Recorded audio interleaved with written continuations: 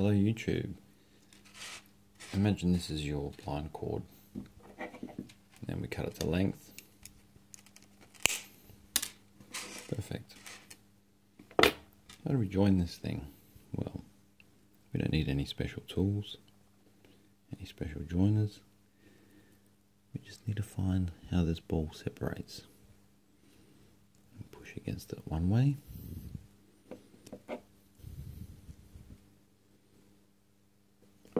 And the other way. Just by bending the cord.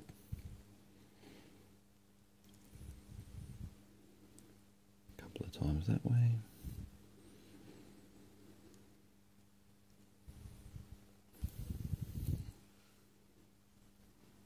Well, let's try with the pliers.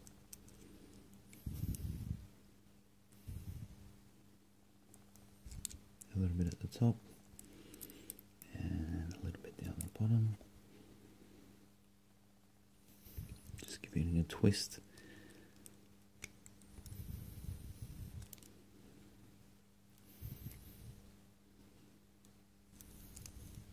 We just need it to open up a little fraction.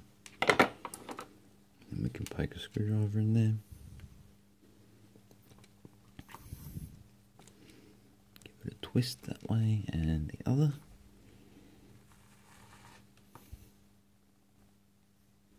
Twist.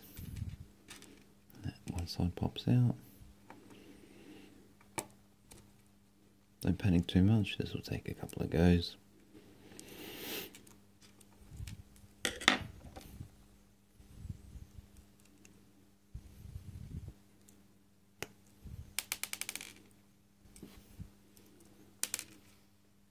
Okay. What we need is, oops, not the offcut. We need to do this to a couple more balls. You could try saving them, but I'm just going to cut them off.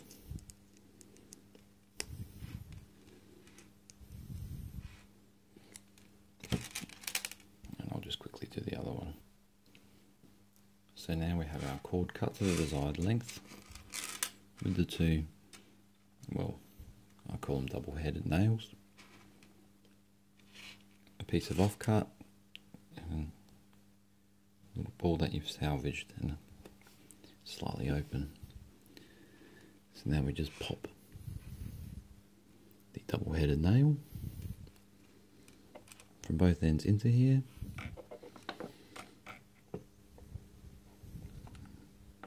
Helps if you helps if you go the right way.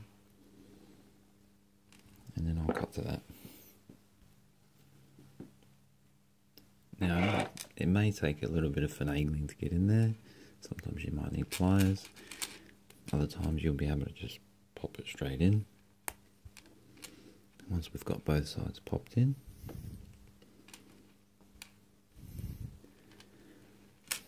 we can just crimp it together.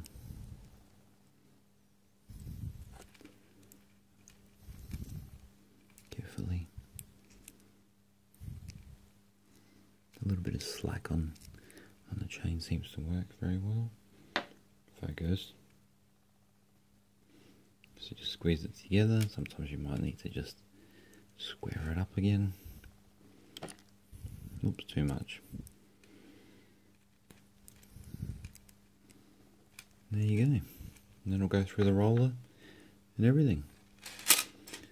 Now remember, have a go at the offcut first a few times and get a couple of nice balls out of it, opened up, and then go for your life. Thanks.